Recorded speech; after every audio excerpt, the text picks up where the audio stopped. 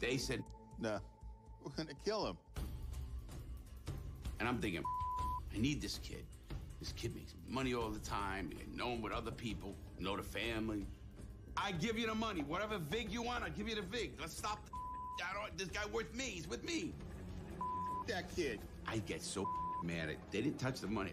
When I said you, he gets killed, someone in this room gets killed. And I walk out of the room. And I'm a psycho now. And these are very important people. You don't shout at a made man. I screwed up.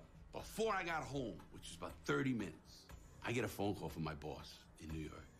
He says, Lawton, get home. I was in trouble. I go up to New York. I truly didn't know if I was going to get out of there alive.